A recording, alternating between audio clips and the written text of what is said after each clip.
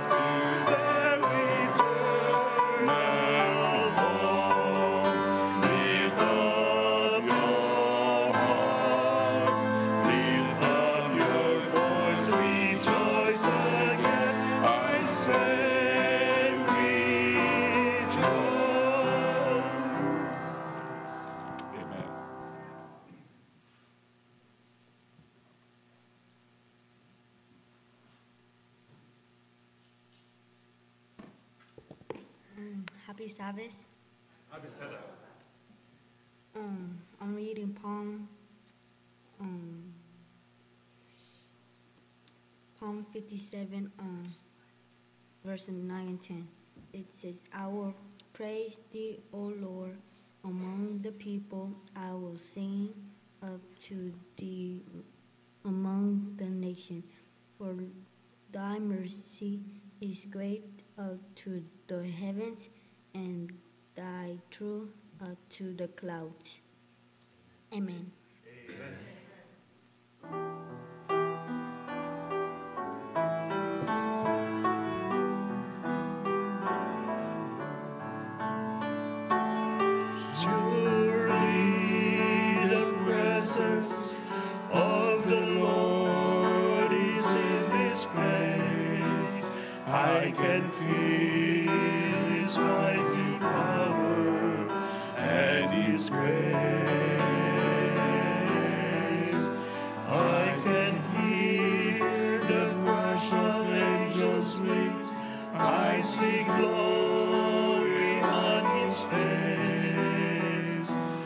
Surely the presence of the Lord is in this place.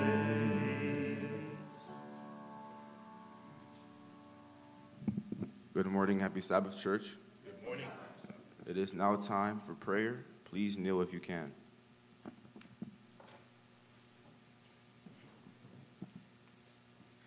Dear, merciful Heavenly Father, we come to you with much, with much gratitude and thanksgiving.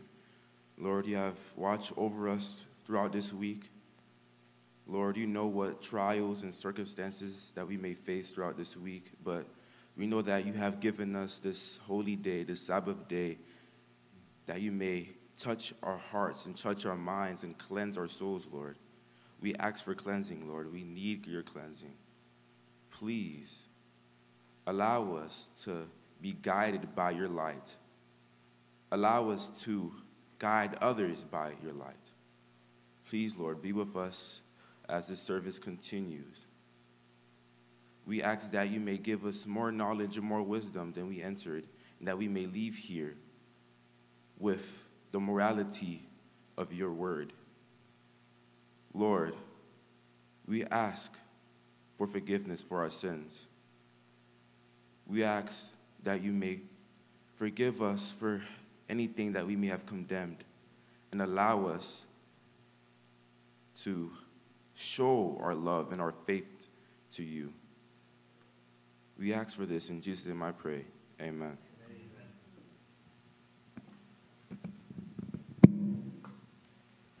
Uh, we will now break up into our respective Sabbath school classes. We'll have the lesson study in the sanctuary here. Uh, teenagers and young adults will be in the back in the choir room, and youth and young children will be down in that hallway. If you're not sure where to go, you can ask a deacon. They have a little deacon badge on their lapel, and they will direct you. We will all convene here at uh, 10:20.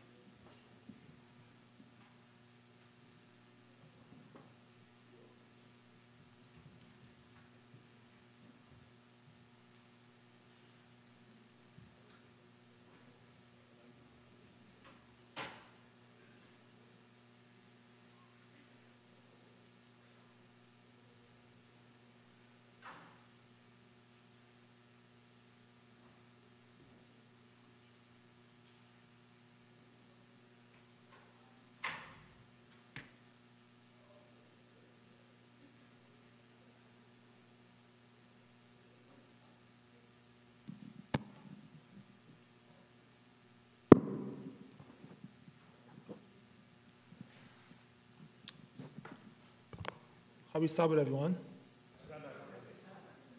I pray that you all had a wonderful week since we're in the season of where people celebrate Valentine's Day, where people tends to be in their best feelings during that time.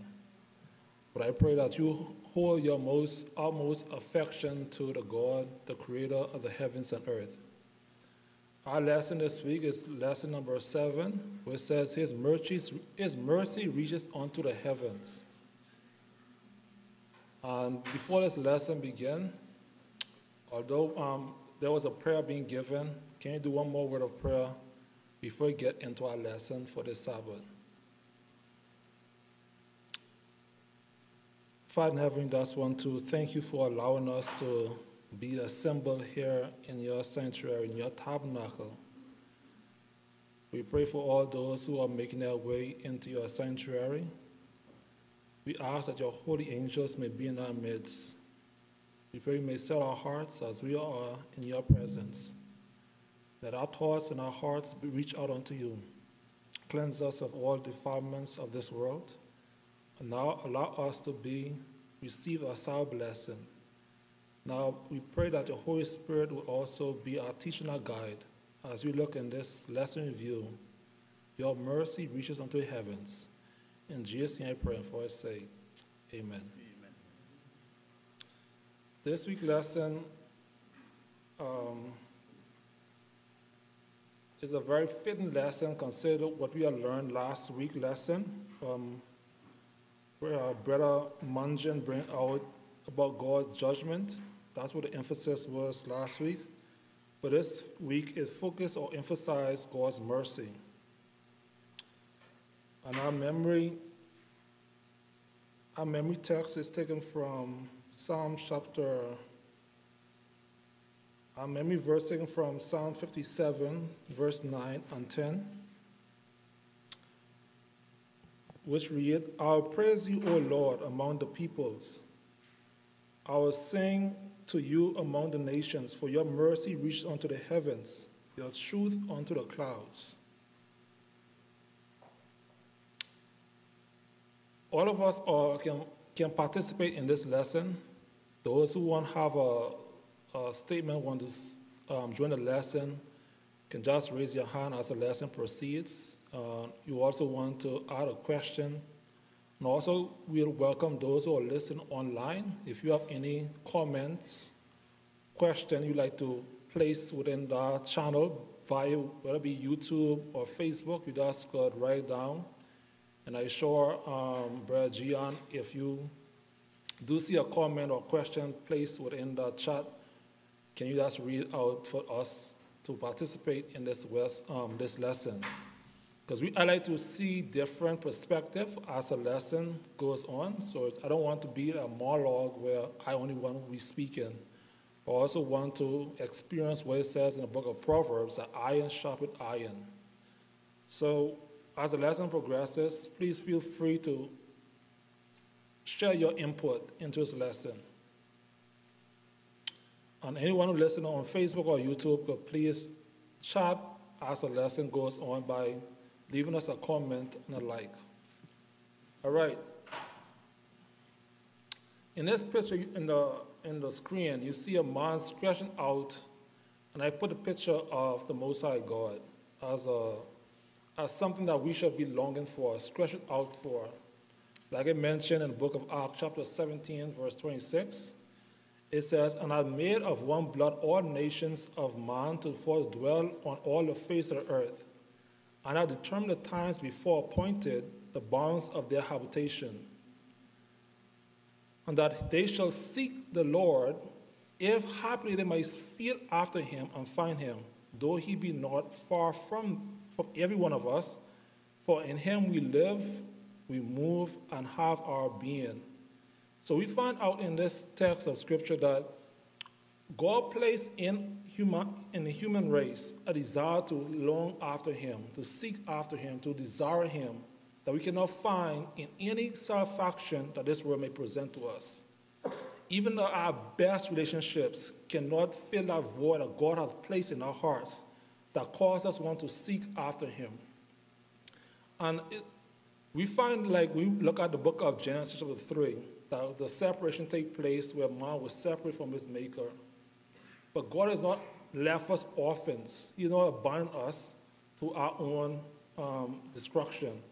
God seeks after us even after we disobey him. And that desire God placed in our hearts is what makes us desire to want to be saved in the first place. If you look at the promise of God made to Adam and Eve, he said, I'll put enmity in your hearts before the serpent. So God placed enmity. This enmity drive us to seek after God. You may be in a, like I said earlier, you may be in a best relationship, but there's still a void, like it mentioned in Ecclesiastes chapter 3, verse 11, that has made all things beautiful in their time and has put eternity in our hearts. And that eternity, that, that big gap of hole that God placed in our heart, causes desire to seek after Him, even though we have fallen in sin. We seek His mercy, we seek His justice. If you look at the pagan world out there, all pagans believe in some kind of higher being. No, whether how far they are in a deep jungle of Africa or in the Amazon or the Madagascar, all of them seek after something higher than themselves. And God placed that in us to desire Him. Amen? Your mercy, your mercy reaches unto the heavens. When you look at um, Sabbath, uh, Sabbath afternoon lesson, we read that when David moved the ark to Jerusalem, he sung, For his mercy endures forever. You find that in chapter of Chronicles, chapter, chap, the first Chronicles, chapter 16, verse 34. When the ark was placed in Solomon's temple, the Levites song For his mercy, for his mercy, love endures forever. When the divine fire consumed the Holocaust, they, they repeated, For his mercy endures forever. When Jehoshaphat went out to battle, the Levites sung, For his love endures forever. When Jerusalem laid the foundation of new temple, they sung, For his mercy endures, his mercy, love endures forever or eternal. So you can see a refrain throughout the New Old Testament that this inspired people to say, when they look at God's mercy and God's um, guidance throughout their life, there is a song of praise they con- constantly be in their mouth about God's mercy and God's love.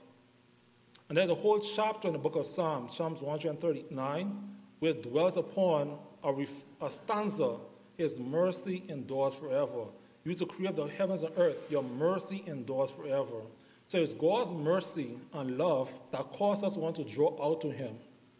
It's not because of Him being a, a God of oppression, a God of a like a dictator, but we see His goodness, like I mentioned in the book of Romans, chapter 2, is by His goodness that lead us unto repentance. So God demonstrated His goodness to us even when we was in rebellion against Him, which caused us to cry out unto God. When the children Israel was in, it was in Egypt, experiencing hard bondage, they cry out unto God. And God sent for them a deliverer by the name of Moses. So throughout the Old Testament, you see where God's mercy and God's love towards his wayward children. What does it mean to what does it mean to me that God's love is eternal? What does it mean to me that God's love is eternal? That's, some, that's like a self-reflective thought. What does it mean internally to me that God's love is eternal? What does the love of what does love consist of? What benefit does it bring me? How can I respond to that love? So if you look at these questions, it says, what it says, what does it mean that God's love is eternal? God appeared to Jeremiah. You look at the book of Jeremiah, I believe it's chapter 39, where it states that I have loved thee with everlasting love. Therefore, loving kindness I drawn thee unto me. So, because of God's love being eternal, God's love is being eternal, that, that causes Him to always desire to be, want to be with us, even though we sin against Him. His love does not diminish because of our wrongdoing, nor does it re- receive, uh, I would say, like a climax because our obedience. His love does not waver. Like how human love waver. If you do something good, I love you more. If you do something bad, my love for you decreases. But God's love remains consistent. It always at its zenith point for you. I read a passage from the Spirit on Desire of Ages, which says that there's never a waking moment of your life where God is not thinking about us. There's not one moment in your life where God, or you are absent from the mind of God.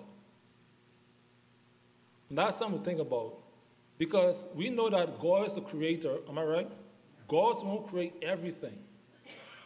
As much as He's the one who create everything, He's the one who sustain everything. Therefore, it follows by logical reasoning that if He creates everything and He sustains everything, that means that we can never be absent from His mind. For to be absent from the mind of God is to cease to exist. Every morning when, you, when we wake up, like when I wake up this morning, and there's talk in my mind when I wake up, I say, you know what? I wake up because God was thinking about me. If God was not thinking about me, I was not going. I was not going to be waking. I was not going to be getting up. Because God wake, thought is is my existence was in His mind that caused me to want to get up. And that's what that's what we are looking upon the sunshine of God's mercy and His grace. Even though we sin, we are the foul with sin. Sometimes we feel so guilty we can't even approach the throne of God. Your sin, your sin alone cannot keep you from God. It's your denial to accept His mercy and His love that will keep you from Him. If you look, if you look at an example with the story of Judas, does Judas sin keep him away from Jesus? Or does Jesus keep does Judas sin cause Jesus stay away from Judas? It was Judas and it was Judas' desire not to forsake his sin that kept him away from the Savior. Because Jesus will be the same like he did with Judas to us. He washed our feet, even though we know, he, even though he know we will betray him. And that's the love of God I want us to dwell upon, is eternal love for the human race. No matter what you do or don't do, can diminish God's love for us. So you cannot do works of righteousness to make him love you more, nor can you do enough bad deed to make, you, to make him love you less. His love remain consistent all throughout your experience.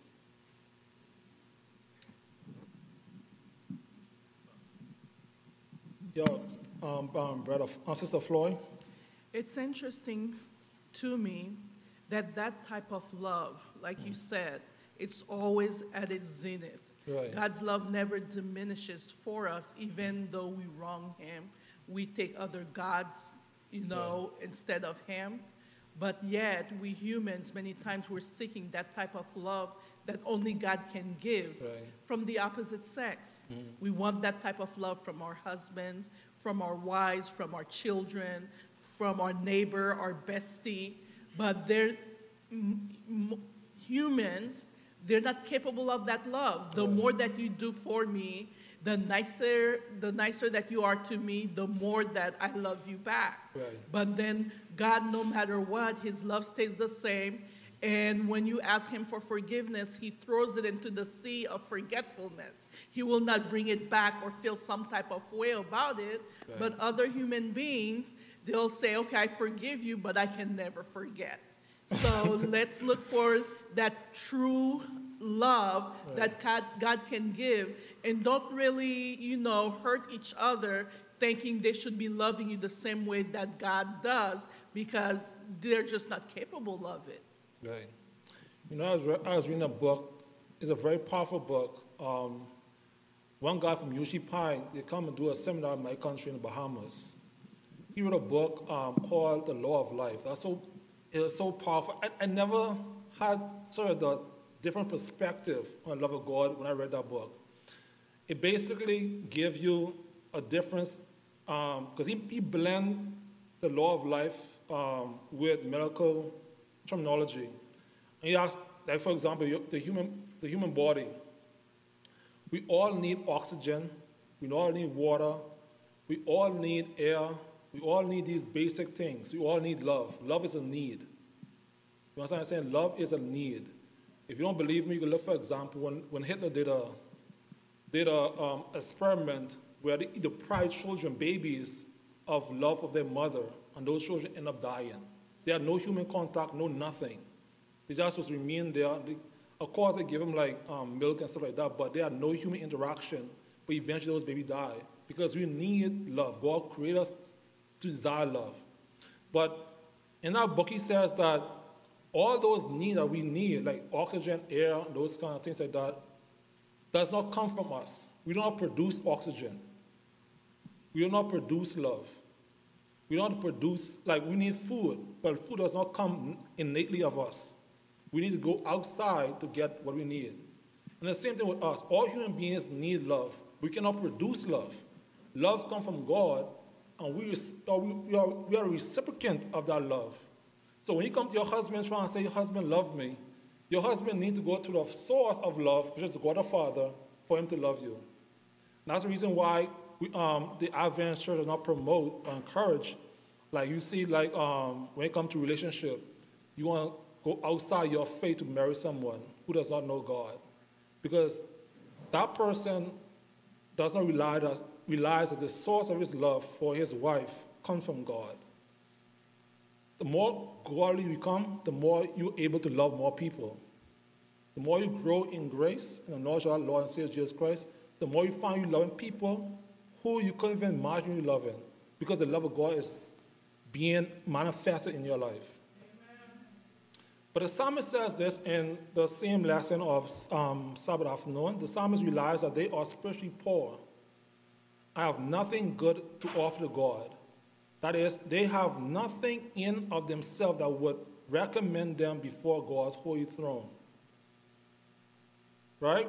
Understand that they all, as do all of us, need grace, God's grace. In short, they need the gospel. Now let's now let's put that in the terms of revelation. Is there a church that says they are, they are rich, increase with goods, in need of nothing? Does such a church exist in the Bible? It says they are rich, increase with goods, and in need of nothing. But when God looks at our condition, He says we are poor, miserable, and blind. The self delusion of the mind, where you think you're all right when in fact you're all wrong. In Hosea chapter 14, verse 1, it says, Or is your return unto the Lord thy God, for thou hast fallen by thy iniquity. Now listen, listen what Hosea says, how shall we return to the Lord when we fall into our sin. Shall we bring, shall we bring our garments of righteousness before the Lord as a form of repentance? Now he says, Take with you words and return to the Lord, and say unto him, Take away all iniquity, and receive us graciously, so we will render the cows of our lips. So even when we come to God, we, don't, we have nothing to offer to Him. When we come to Him with repentance, asking for forgiveness, we have nothing to ask for Him. You know, sometimes when people wrong you, they give you like a peace treaty to accept them. Maybe a gift, maybe something to, to ease the pain that they cause you. But when we come to, when we come to God, we have nothing whatsoever to present to Him. If you look at um, Step to Christ, chapter 2, it says that the, the sinful human being only come to God, give him the foul heart with Christ of the cleanse. We give Christ something as the foul, and he gives us something as pure. His heart, his, his humanity. Like we mentioned, Revelation chapter, 3, chapter 3, verse 14, it says, Unto the angel of the church of Laodicea write, These things says the Amen, the faithful and true witness, the beginning of the creation of God. I know thy works, art neither cold nor hot, and I will thou cold or hot. But because, now listen, listen what it says now. So then, because thou says, now notice that there's a change. Now, in chapter, in chapter 3, verse 14 and 6, 15, God gives description of, of the condition of the church. But the self-deluded Laodicean doesn't see that, that, that the thing what God sees. He sees something totally different. It's that because thou says, no, it said, because thou art lukewarm and neither cold nor hot, I'll spew out my mouth. And it said, because thou sayest, I'm rich, increase your goods, in need of nothing, and knowest not, there's the blindness, the self-delusion.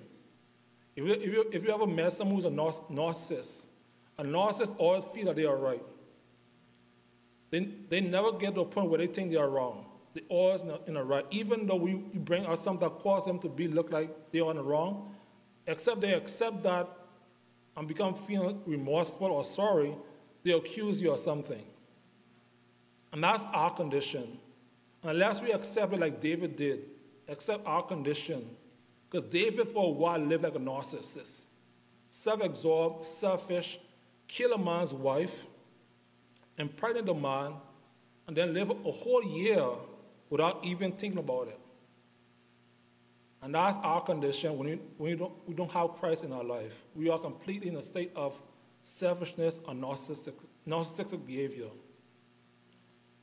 Listen what Spurgeon says. I like what Spurgeon says. Spurgeon says, it is, it, is it not a sad thing that after all Christ loved, Christ loves um, to us, we should reply it, repay it with lukewarm love to him. So in exchange for God's um, um, unfailing love towards us, giving us a love that is without parallel, a love that's always at its zenith, how is it that we can repay him with a lukewarm heart? Now, lukewarm heart is saying one thing and doing another thing. You say you love God, but your works not him. And your works is manifested in your home life. If you're married, your works is manifested how you treat your children, how you treat your husband, or how husband treat your wife. That's how your works is manifested.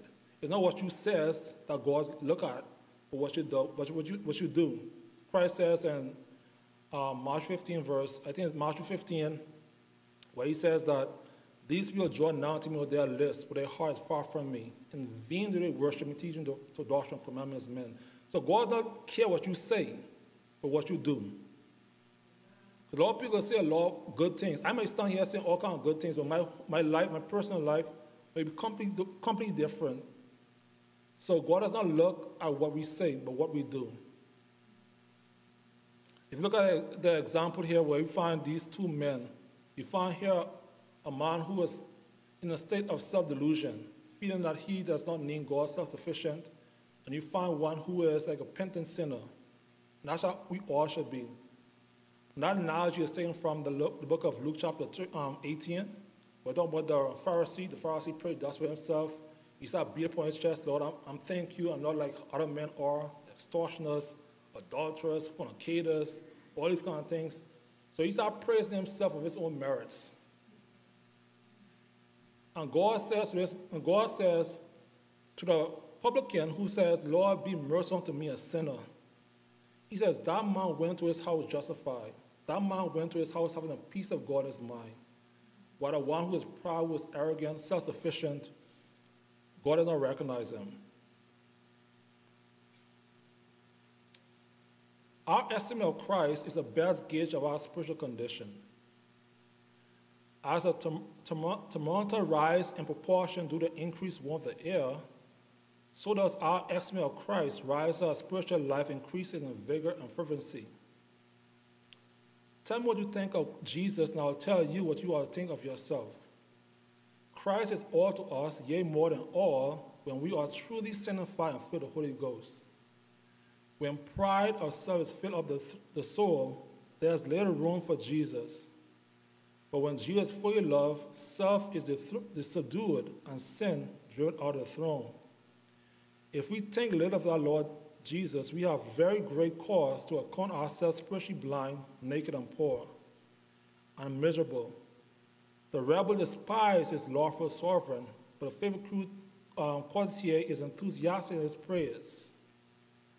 Christ crucified is a reveal of many hearts, the touchstone by which the true gold and the confident metal is discerned. Its very name is a refined fire and a full soap. False professors cannot endure it, but true believers trump therein. We are grown in grace when we grow in the knowledge of our Lord and our Lord and our Savior Jesus Christ. Let everything else be done, and let Christ fill up the task space of our soul. Then, only then, we are rising out of the vanity of our flesh into a real life of God. It's, a, it's an extract taken from Charles Spurgeon's sermon, a, lady, um, a song among, among the ladies. And what I get from that is that when we truly love Christ, like I mentioned, desire, um, I think it's Step to Christ, the chapter 5, consecration. It says, Our sweetest thought will be of Him. When we are truly converted, have that Christ life living in us, our sweetest thought will be of Him. And I remember like one day when I spent a whole day um, doing a meditation because I was um, talking with one of my um, then girlfriend at the time. We spent a whole day just talking about or doing like a series of talk on on the, um, the book Step to Christ. And spending so much time talking about Christ, it causes us to want to spend more time in prayer, more, want to spend more time in want to get to know this God. And that's the reason why, if you look at the life of Christ, he spent so much time in prayer. Sometimes he spent whole nights praying to his Father. That's how you cultivate a desire for God, by spending time with him. And if those of us who don't spend that time to get to know the Father, how can you know his voice? How can you know when he's speaking to you? Sometimes God speaks to you when you're near the job. Someone trying to backstab you, someone trying to talk bad about you, and God sometimes forewarns you by speaking to you, by speaking to your conscience. But if you don't know, if you don't spend time to recognize His voice, how would you um, say which one is God's voice or which one is not God's voice? So I encourage each one, each one of us to spend time trying to get to know the voice of the Father. On Sunday's lesson, it's talking about His mercy endures forever. We talk about um, the whole chapter is dedicated. Um, we're given like a stanza of God's mercy and God's love. Um, sums of God's people to praise the Lord for His mercy as revealed in creation. And Israel in history, mercy conveys God's goodness and loyalty to His creation and His covenant with Israel. Like I mentioned earlier, that we know that the person who created everything was Jesus Christ. If you look at the James chapter 1, verse 1, where it says, Bereshit bara Elohim, that word Elohim is a compound word. Like you have, for example, um, him is like an S for the Hebrew. Like you have cherub, that's angel, that's one angel. You have cherubim, that's a, a, a multitude of angels. So when it says El, that's God, Lohim, that's plurality within the Godhead. So within the Godhead, the creation work take place within a within a unit of a family. It was not God isolated when He created everything. Desire of Ages, um, um, I think it's page 19, paragraph 2, where it says, God's thought was made audible. Speaking of Jesus. So Jesus carried out the work of creation through the Father, on behalf of the Father. So there was in a unity among the Godhead when they created this world. And when God created the human race, He established a family unit. He established um, Adam and Eve. Eventually, Adam and Eve will have children, and they'll go against having a family unit. And the family unit was there to illustrate God's um, character, God's um, uh, mercy. Because even when you see, like, well, when you look at the, the human race, you see, um, like, when, when it comes to Abraham, when Lot separated himself from Abraham, Abraham showed humility by allowing Lot to choose the better part of the land which, to, which choose. So God wanted us to incorporate his characteristics, his mercy, his love, and his steadfast love for one another, uh, incorporate among one another. There's a, one interesting fact I learned when I was putting this presentation together. It says there are more than stars in the universe than grains of sand, all the beaches on earth. It says there are more stars in the universe than all the beaches on earth. Imagine how much stars there must be. It says that's at least billions or trillions of, of grain of sand. And the Bible says this about our God. He telleth the number of stars, he, call, he calleth them all by their names. Can you imagine that? There are trillions upon billions of, of stars, but God knows each of their names.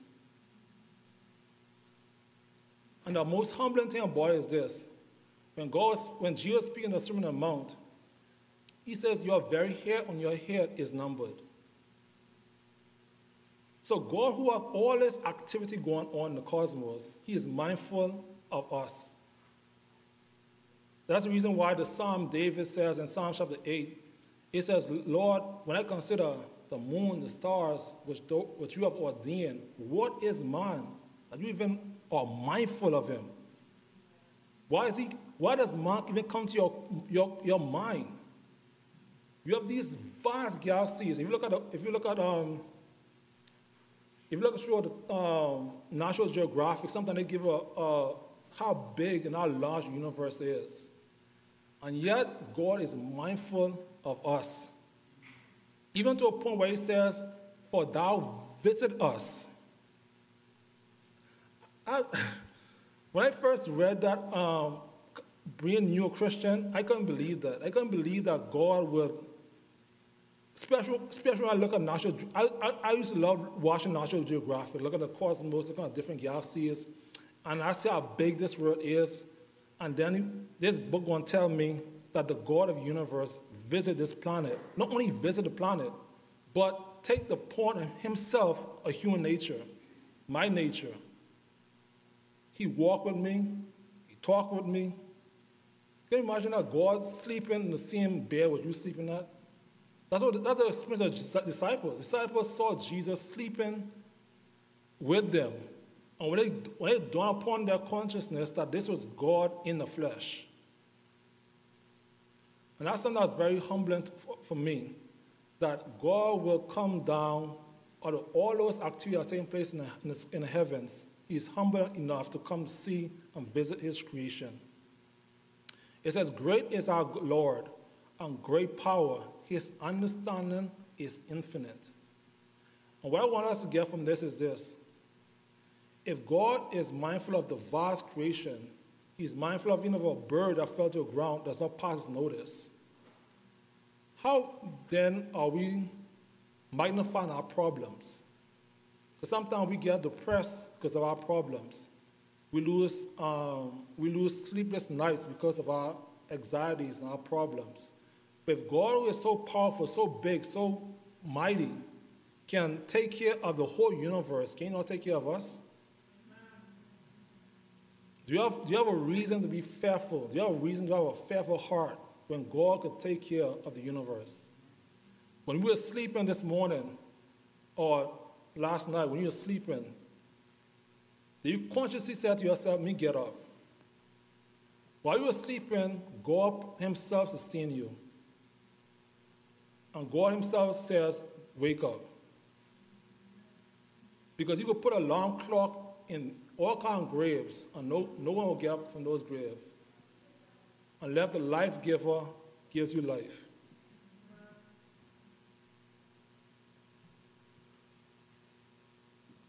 I don't get to the crux of our lesson, which I really want to focus and emphasize on.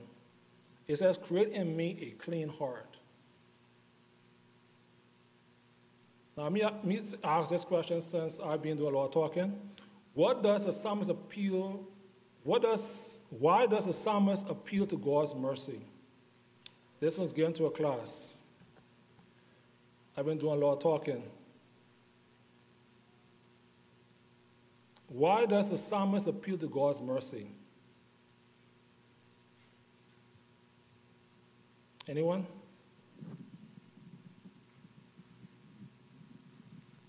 It says, King David poured out his heart before the Lord, asking for the forgiveness of his sins during the spiritual darkness moments in his life.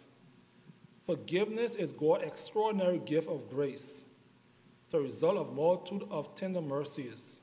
King David appealed to God to deal with him, not according to what he, what he, appealed to him, not in accordance with what his sin deserves.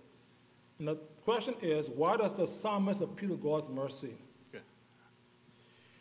No, uh, Psalm 91, uh, I mean Psalm 51, was written by David after he committed that grievous sin Right. uh, against Bat- Bathsheba and also killing Uriah, the husband. And uh, David pronounced judgment against himself Right. that that man should die when he was confronted by Nathan the prophet. So, out of this, he realized that without God's mercy, without God's forgiveness, he will die because of his sin. So, he was longing for God's uh, uh, forgiveness so that he will be like restored to his previous uh, condition because without God's mercy, he ought to die. Right. Sister Floyd? He also, David also realized that the heart of man, including his, is utterly wicked. Hmm. So without God creating a clean and pure heart inside of him and renew his steadfast love, there's no way that he can be a better man. He cannot walk the right way with God with the same wicked heart. So he needed God to intervene and change his heart. Amen. I want to ask something. I want to ask another question in light of that. But notice what like Bongai was bringing out. David pronounced judgment upon himself. That man ought to die. But listen to how narcissistic that sound. After he learned that Nathan knew he was the man, he says, he says, "Have mercy upon me." But if you look at it from his point of view, he says, Judgment belongs to that man, shall die. When it comes to him, he seek mercy. You see how we are as human beings? We have wicked hearts. If, if David knew that was a different person who did that, that person was going to die. And that's the reason why we have to be thankful for God's mercy. Amen? Because if God treat, like um, I think it was on um, Monday, Tuesday lesson, if God marks sin or God marks iniquity, where would we be? Brother David. Yeah, it's interesting. God's mercy, and obviously, people that need mercy are people in trouble. Right. When we're in trouble, we want mercy. when we're in a court of law, we want mercy. So obviously, David and all of us are in trouble because of sin. But the Right. point I'm getting at is don't you think that sometimes mercy can be abused? Let's talk about that because mm-hmm. it's good to talk about mercy, and we know it exists. I won't get to that. I I take that. it from for concrete. It's in concrete. God is merciful. However, is there such a thing as abuse of mercy? That's a good question, I think, to think We about. won't get into that. Okay. Yeah, going to get into that. trying to jump the gun. Oh, also, one more question corollary to that is not only is, is mercy, can it be abused? But the other question that goes with it is, even though mercy does is forever, is mercy, what does that mean, forever? Because you see, if I'm going to sin forever, definitely I need mercy forever. You understand my point? Right. That's my point. Does, Right. does mercy eventually have a consummation where mercy is done? Because I know the angels don't need mercy. The mm-hmm. angels didn't fall, they don't need mercy. Okay. They don't ask for mercy, nor do they need mercy. That's interesting thought. So that's my question. What happens to mercy in the future when everything is done? In other words, it's something to think about. I think Brother Williams has something to say.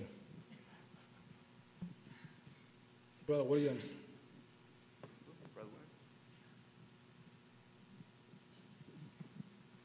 About I mercy? put, I put him in I put him in the uh, spotlight. Based on what his question was, he says that can we abuse mercy? Yeah, I believe that we do that every day, sir. Um, just the fact that we're living, alive, and um, we wake up uh, in the sinful world, but we sometimes, or most more often than not, we give in to the temptations of the day, of this this present world, and so we are ever dependent on God's mercy, but we're also looking looking at it as it's it's. Um, um, it's a bottomless pit that we can always go back to it and, and, and, and receive Right. of it as if it's just unending. You see? And, and that's, the, that's the fallacy and that's the um, um, uh, misconception that we have. And, um, and yes, it's, it's one of the uh, conditions that we actually live in in this current age. Amen. But I also want to add this.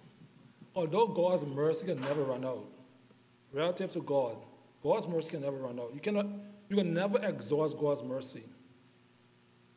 We must understand that we are creatures of habit. Right? We are creatures of habit. Let me, let me illustrate this. I, if, you, if you look at Rev chapter 16, talk about the seven last plagues, it says God poured out his, his judgment without mercy. Right? For the first time in human race, God gonna pour his judgment out mercy. No, not an inch of mercy is tied into his judgment. The Bible says these people cursed out God because of it, because of the plague, for it was great. The Bible says they blasphemed the name of God or will not repent to give him glory. So, because we are creatures of habit, sometimes we get to a point where our, like the Bible says, our conscience becomes seared with a hot iron. We are so, we are so um, steep in our ways that we cannot be moved. You understand what I'm saying? God's mercy is not run out, but it's just that we come to a point where His mercy cannot reach us. The door is still knocking, but we cannot hear, we cannot hear the knock the, on the door. Our ears drum become numb to the voice of the Holy Spirit. The, if you look, um, um, Tough Among Blessings, page 19. I mean, Tough, Tough Among Blessings, chapter, uh, page 91. It says that we could come to a point where God's mercy can never reach us no more. It's not that God's mercy run out, but we come to a point where we cannot hear the voice of God. God speaking to us, we cannot hear his voice. That sounds like you're saying, and my question is, does mercy have a purpose? Yes. Because, in other words, God extends mercy, but uh, if I understand some people's understanding of mercy is God is so merciful that everyone's going to be saved. Everyone. See, there's that understanding of mercy. No, no, That's no, my no, question. no, no, no. Because, like I, like I mentioned about, um, now Jesus used a lot of example of, of, of like, like um, fruits and stuff like that to illustrate, to give a point. Like, for example, when a fruit reaches a point of ripeness, when, when fruit get ripe, we, we, we, we, turn, we call that harvesting time. It's time for the harvest our fruit to eat it. The Bible uses the same knowledge when it comes to human beings. We come to a point of ripeness, where we, where we get to a point where we cannot change. We don't, we don't want to change. We become established in our ways. So mercy is, a, is given to us for call us to change, but we are creatures of habit, come to a point where we become so fixed. The Bible says that um, in Revelation chapter 14, verse 16, it says, Trust in thy sickle to reap, for the harvest of earth is ripe. That means not it come to a point where people make the decision, I'm going to follow Satan and I'm going to change my mind. I'm going to do this. You ever meet people like this? I born a Catholic or a Catholic. They come to a point where their mind is fixed. They will not change, no matter what you say, what you do. So God have to, so God, so God have to, um, so since God is a God of um, free will, He must accept your decision of not accepting His mercy and move on. But Brett, Brad, you want to say something? No, it's, it's interesting that sounds like you're saying that mercy is extended to everyone, but sometimes we'll get to the point where we're, the Bible uses this verse Let him alone, says the Lord about Ephraim, because he's beholden to his idols, meaning there is something else that has their attention greater than Right. God. It's not that people don't necessarily want mercy, but see, I believe that there has to be an action part of mercy that is there. And I think sometimes we think of mercy as being something static, you know, oh, there's mercy. But I think that it demands a response because that mercy is extended because of the blood shed on Calvary, why we have mercy. And, and so, eh, unless we see that as the reason why I don't want to keep sinning, because every time I do, it requires what? The blood of Christ on the shed on Calvary, every single time. I think God desires us to look at that and go, you know what? I don't want to be beholden to my idols anymore. Maybe that's something that we have to discuss. Bongai? Or Sister Floyd? I think it's good to always bring the lesson back to us hmm. in our daily lives, how it applies to us in our lives. So, with the Godhead, you see that unity. Hmm. The Godhead together, all three were there in part of creation. The same way He put us into families so that the husband and the wife will u- unite together and become one flesh, Right. as the Bible say, Right. and raise the children in the way of the Lord Right. and worship God together and obey Him together as a family unit. Mm-hmm. The same way when the disciples asked Jesus Christ, What is the greatest commandment? He mm-hmm. said, First and foremost, to love God with all of your mind, all of your heart, strength, okay, with everything that's in you. And the second is like the first love one another. Mm-hmm. And that's how the world will know that He has sent us Right. So whether here in the church, in our neighborhood, at work, wherever we are, that same mercy, we must not abuse it. Keep mm-hmm. hurting the person's feelings, and oh, I apologize, or not even apologize, and expect you know the same level of friendship, caring, and so on. So we need to reflect the mercy of God and the love of Christ, Amen. and make sure that you know we're um, loving one another the way that we're supposed to, and have the mercy for one another. Okay, I want to move on to a lesson, but you all make some very good points. But I want to read this portion. It says, Divine forgiveness involved more than a legal proclamation of innocence. It produced a profound change that reached the most inmost part of the human self. It brings about a new creation. Now, we're going to talk about that later on as we um, bring this lesson to a close. It says in the, in the inner part of the, um, the paragraph, only God can produce a radical, a radical and lasting change in a repentant person's heart. Okay.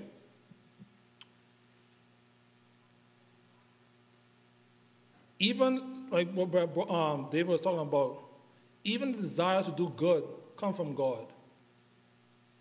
Repentance comes from Jesus Christ. You can't wake up one day and say, I want to repent. Bible says he should send forgive, you should, he should, he should give us a heart repentance. God give you the heart repentance. So without the Holy Spirit working in your heart, you can't even desire to seek go after God. It's the Holy Spirit working in your heart that causes you one desire to seek after God. Wow, time going fast. anyway, but let me close with this thought because I, I didn't want to get to the um, to a closing part, but nevertheless, um,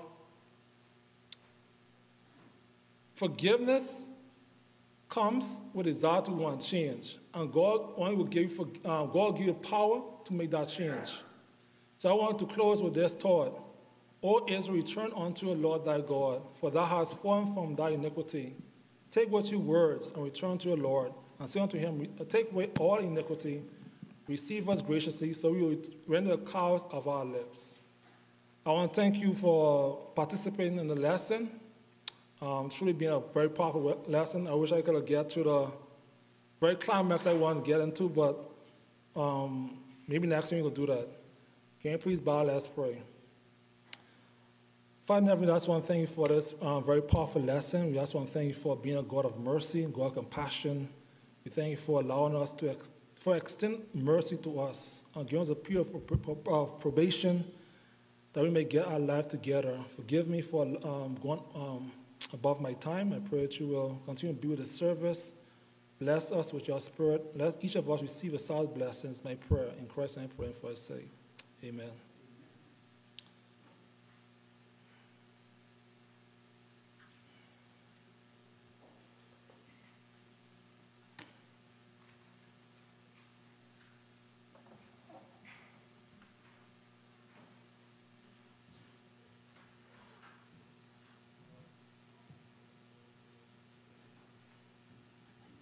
Will now collect the Sabbath School offerings. May the deacons please come forward. Inspire our heads in prayer. Dear Heavenly Father, we thank you again for bringing us here today. We ask, Lord, that as we collect your offering today, that you please bless it and multiply it. Let it be used for your purposes, Lord. Let it be used for the advancement of your service, and allow us to be good stewards of your money, Lord. We ask all these things in your name we pray. Amen.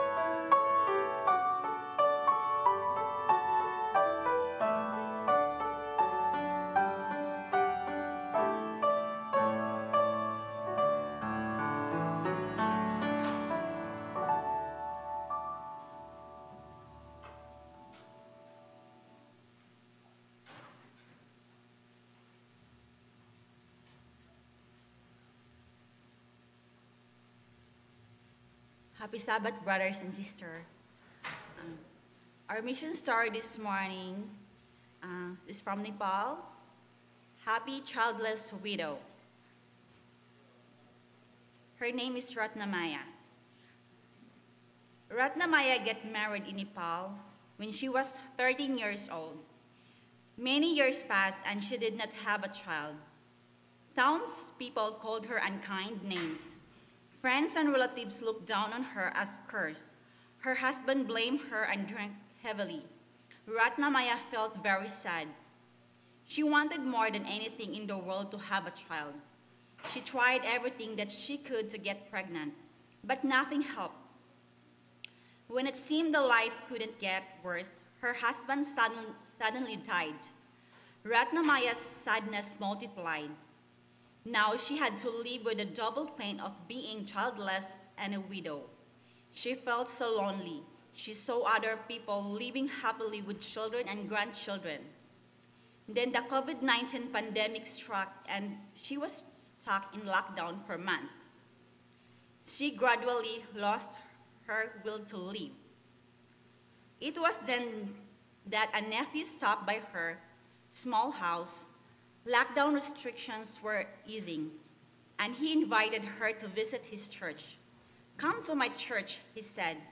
You will hear many new things, and you can lost, and you can also get a gift. The church was distributing rice and blankets to needy people during the pandemic.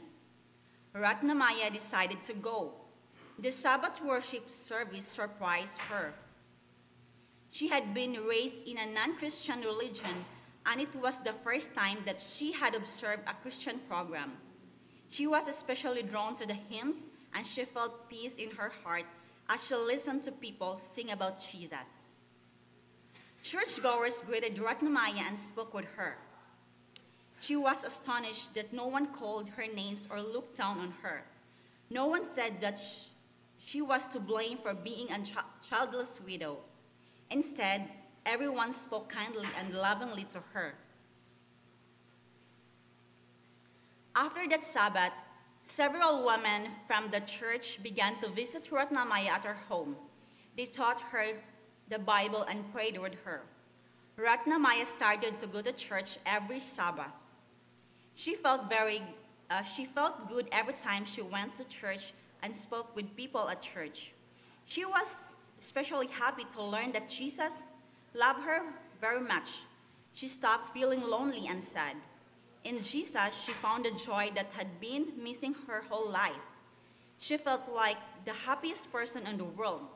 The Lord has given me his peace in my heart, she said. I always be thankful to God for his love and for everything that he has done in my life. Today, Ratnamaya is 65 years old and still growing in church in her Christian faith. She never went to school, so she cannot read or write. But she is studying the Bible with a woman from church and by listening to a radio podcast produced by the Seventh day Adventist Church. I want to grow in the Lord even more, so I ask everyone to pray for me. She said, one of Ratnamaya's favorite Bible verses in Philippians 4 4, where Paul says, Rejoice in the Lord always. Again, I will say rejoice. I don't have husband nor children, but I never feel lonely because I can rejoice in my Lord and Savior. She said, My Lord is always with me, and he loves me more than anything. Part of this quarter's 13th Sabbath offering will help establish an elementary school where children can learn to read and write in Nepal. Thank you for planning a generous 13th Sabbath offering on March 30th. 30th. Thank you, everyone.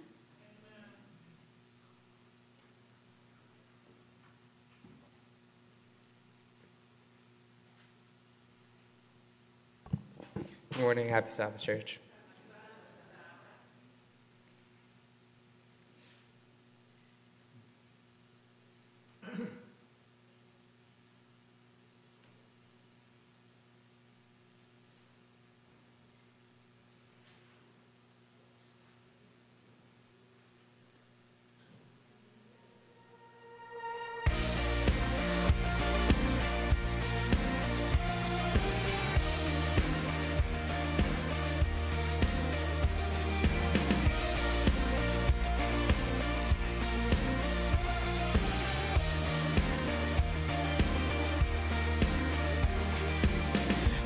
Breaks the power of sin and darkness, whose love and mighty and so much stronger, the King of glory, the King above all kings. Who shakes the whole earth with holy thunder and leaves us breathless in awe and wonder, the King of glory, the King above all kings. This is amazing grace. This is unfailing love. That you would take my place. That you would bear my cross. You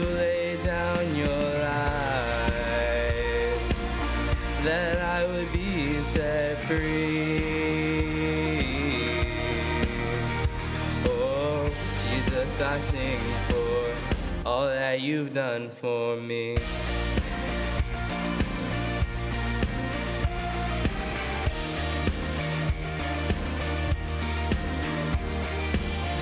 Who brings our chaos back into order?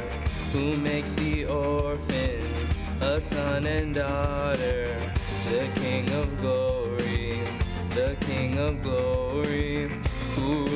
Nations with truth and justice, shines like the sun in all of its brilliance. The King of glory, the King above all kings. Yeah, this is amazing grace. This is unfailing love. That you would take my place.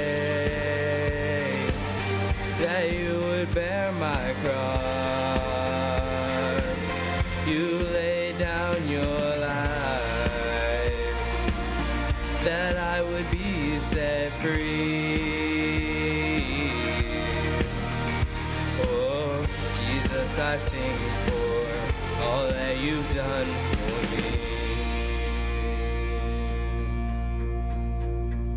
Worthy is the Lamb who was slain. Worthy is the King who conquered the grave. Worthy is the Lamb who was slain. Worthy is the King who conquered the grave. Worthy the Lamb who was slain. Worthy is the King who conquered the grave.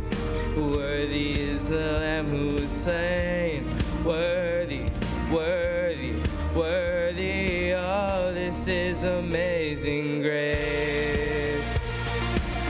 This is unfailing love.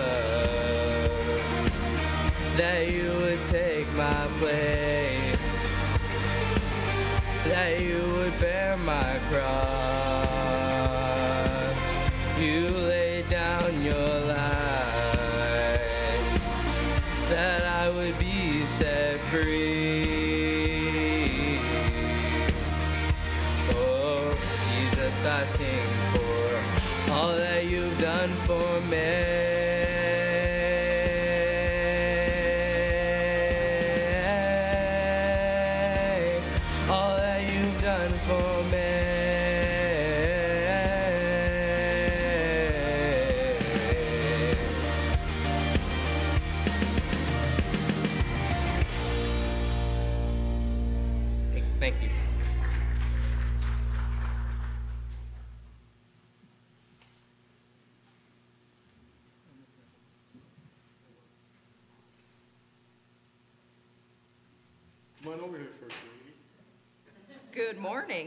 Is the Lamb, isn't he? Amen. Amen. Uh, You know, darling, we have a ministry moment this morning. And we're going to talk about health. And uh, of And course, disasters if you don't have good health. yes, uh, two things. First of all, we want you to, to remind you of our disaster response warehouse um, training and donations and operations. Now, um, we have arranged a special deal uh, for those who would like to be trained to uh, have housing at an extremely discounted rate. Yes. Uh, That's only $25 per night, and the hotels over there are anywhere from two to 300 a night. And so, um, at Forest Lake Academy, anyone that wants to be trained in disaster response, you can come and we uh, will train you. Now, dear, we're gonna, we're gonna be part of that, aren't we? You- We are. You and I. I'm going to be assisting in the forklift training, and so I've been taking the course. And so I am uh, the new warehouse manager for the Florida Conference. So if a disaster hits, I'm praying that the Lord will keep them away as long as possible. And then um, we want you to know that we love Pompano and each individual here, and we just want you to come if you have the opportunity. A few people have reached out to us. This is an opportunity to get trained and to be certified. Now, there's some people that were trained before, right? Last time, and uh, at uh, Port